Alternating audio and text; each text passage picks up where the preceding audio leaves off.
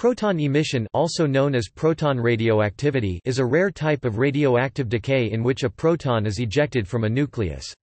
Proton emission can occur from high-lying excited states in a nucleus following a beta decay, in which case the process is known as beta-delayed proton emission, or can occur from the ground state or a low-lying isomer a very proton-rich nuclei, in which case the process is very similar to alpha decay.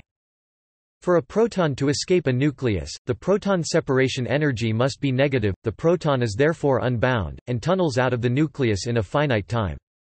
Proton emission is not seen in naturally occurring isotopes. Proton emitters can be produced via nuclear reactions, usually using linear particle accelerators. Although prompt i.e. not beta-delayed proton emission was observed from an isomer in cobalt-53 as early as 1969, no other proton-emitting states were found until 1981, when the proton radioactive ground states of lutetium-151 and thulium-147 were observed at experiments at the GSI in West Germany. Research in the field flourished after this breakthrough, and to date more than 25 isotopes have been found to exhibit proton emission. The study of proton emission has aided the understanding of nuclear deformation, masses, and structure, and it is a pure example of quantum tunneling.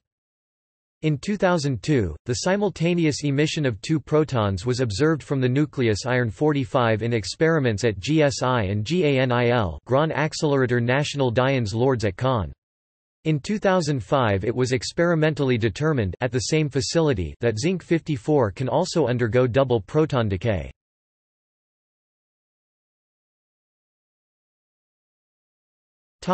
See also.